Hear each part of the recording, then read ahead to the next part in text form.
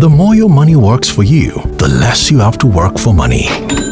Most of us don't know what this means. We often find ourselves burdened with questions like How can I save? Where should I invest my money? How can I budget to meet my needs with the money I earn? What can I do about my recurring debt? Benjamin Franklin once said, An investment in knowledge pays the best interest. And with the NSSF Financial Wellness Program, you get the best financial literacy to get you on the path to financial freedom.